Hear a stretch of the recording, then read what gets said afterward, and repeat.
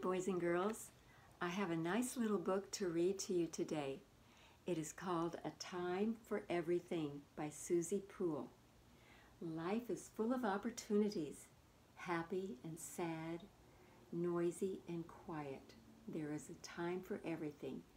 And this is based on the book of Ecclesiastes 3. Okay.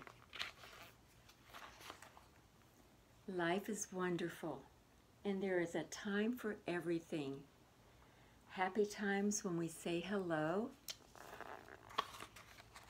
sad times when we say goodbye. A time to be muddy and squishy. A time to be clean and soapy. A time for summer and keeping cool. A time for winter and wrapping up warm.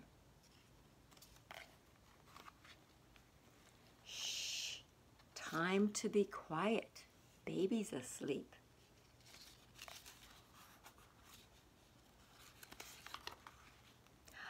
And a time to be really noisy. A time to love.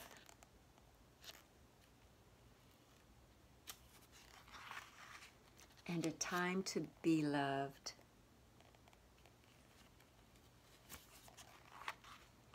A time to wake up.